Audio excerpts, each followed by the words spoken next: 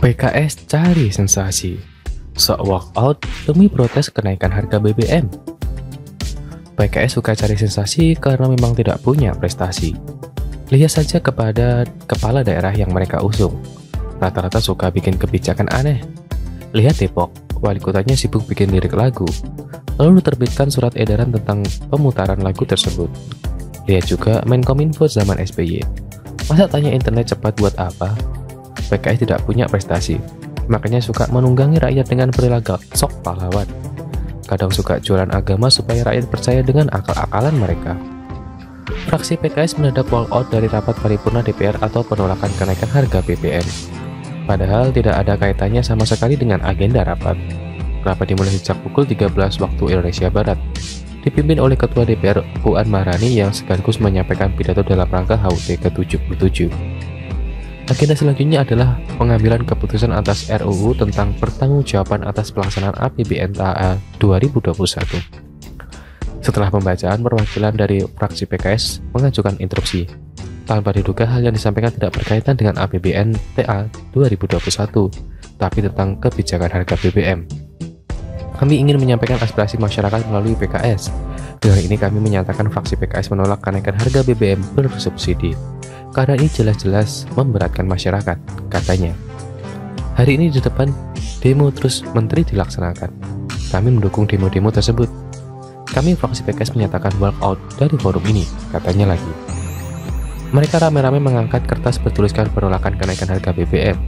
Kemudian terjadi aksi walkout, tapi itu tidak menjadi masalah karena rapat kemudian dilanjutkan dengan pengesahan RUU tentang pertanggungjawaban atas pelaksanaan APBN tahun anggaran 2021. PKS mau walkout atau tidak, terserah. Bahkan lebih bagus jika misalnya PKS walkout selamanya dari Senayan.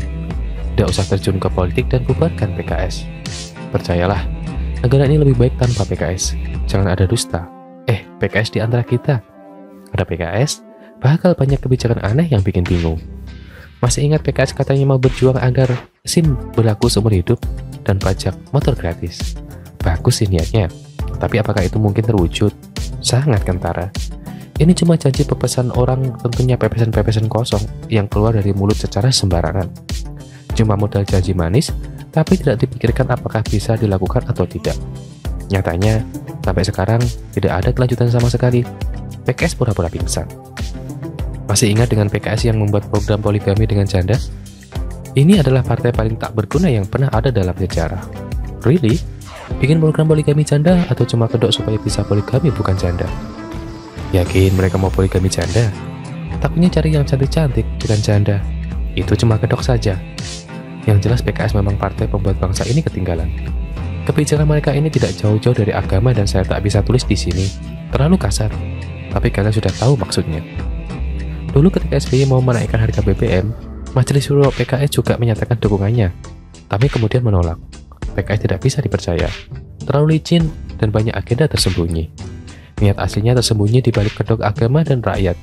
Aslinya mereka ini banyak yang akal-akalan. PKS gayanya aja mendukung rakyat, tapi aslinya lebih suka jualan agama. Kata kuncinya adalah pemimpin yang mereka usung. Banyak yang aneh.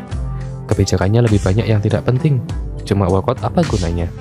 Toh tetap tidak bisa bikin harga BBM turun. Cuma terlihat kestajia dan heroik. Padahal anak kecil juga bisa melakukan itu.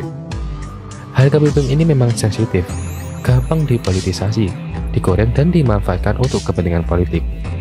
Saya pribadi lebih suka pemerintah berketat jenis mobil yang boleh beli BBM subsidi ketimbang sabu rata kenaikan harga BBM. Sudah bukan rahasia umum, banyak mobil pribadi bahkan yang mahal masih suka pakai Pertalite. Katanya subsidi BBM dinikmati 80% oleh mereka yang sebenarnya mampu. Kalau pemerintah memang berniat dan mobil pribadi dilarang, maka harga BBM tak perlu naik. Bahkan subsidi BBM bisa berkurang drastis. Naikkan harga BBM juga sama saja. Subsidi tetap ada, dan rasionya juga sama. Bahkan yang kaya biasa pusing dan beralih pakai BBM subsidi demi hemat. Bagaimana menurut Anda?